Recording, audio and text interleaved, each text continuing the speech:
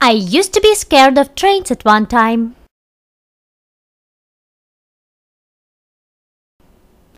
It's not the train itself that scared